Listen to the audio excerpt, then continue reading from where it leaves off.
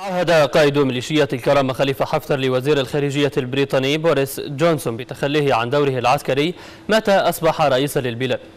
وتعهد على لسانه جونسون الذي أكد أنه يجب أن يكون هناك قيادة مدنية للبلاد ولكن هذا لا يعني لا يكون لحفتر دور أو لا يستمر في دوره العسكري. الآن كثر الذين يطلون برؤوسهم ويريدون السلطة. لكن أنا لست هذا هو طموحي. طموحي أن يعيش الشعب ونحن حراس للشعب. من هذه المهمة تصريحات ليست ببعيدة زمنيا لقائد ميليشيات الكرامة خليفة حفتر. الرجل لا يريد السلطة هذا ما قاله وما يردده. لكن المتابعين للشأن الليبي كثيرا ما يجزمون في تحليلاتهم أن حفتر المسيطر على شرق البلاد بقبضة من حديد لا طموح له سوى أن يكون القائد الأوحد. ووسط الضغوطات الدولية المتواصلة والدعوات إلى توحيد الجيش وإلى ضرورة انخراط قيادته تحت سلطة مدنية. بدأت مطامع الرجل في القيادة السياسية تظهر شيئا فشيئا وإن تضاربت أقواله. منذ شهر اتفق قائد ميليشيات الكرامة مع رئيس المجلس الرئاسي المقترح فايز السراج في باريس على تنظيم انتخابات تشريعية ورئاسية العام المقبل. لتأتي اليوم تأكيدات وزير الخارجية البريطاني بوريس جونسون تتضمن تعهد حفتر له بتخليه عن أي دور عسكري متى أصبح رئيسا للبلاد. تصريح يمكن إدراجه في خانة الإجابة عن تصريحات أخرى. للسياسيين الليبيين اشترطوا خلع حفتر للبدلة العسكرية متى أراد تقلد منصبا سياسيا. قائد ميليشيات الكرامة سبق أن أكد في تصريحات إعلامية أنه سيقبل السلطة متى طالبه الشعب بذلك الشعب المنقسم بين داعم له يرى فيه منقذا للبلاد وبين رافض يرى فيه سبب بلائها والسؤال هنا هل ستنتفي الصبغة العسكرية من رجل كثيرا ما خلع عليه حلفاؤه هذه الصفة؟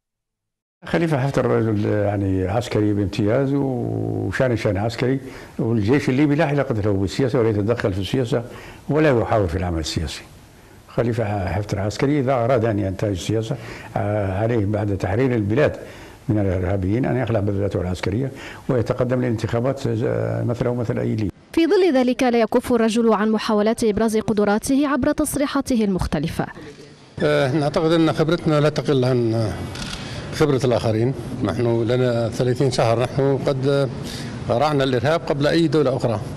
وكنا نقول أن نحن نقاتل الإرهاب نيابة عن العالم.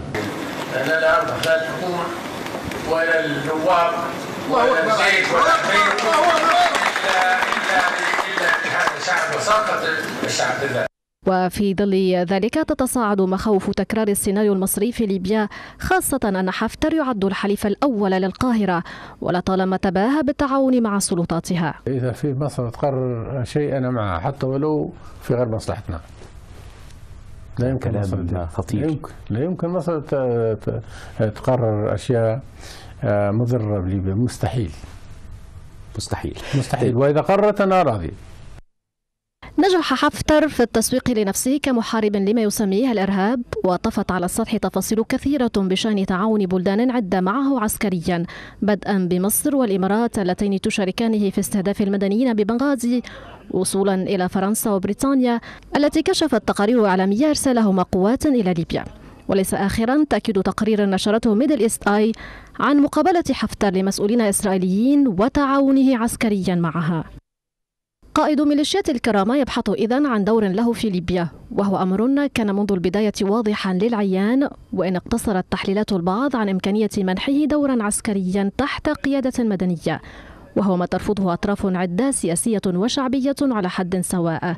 فما بالك بتقلده منصبا سياسيا بطعم عسكري؟ ذاك خط أحمر لشعب طالما صدحت حناجره رفضا لعودة الحكم العسكري.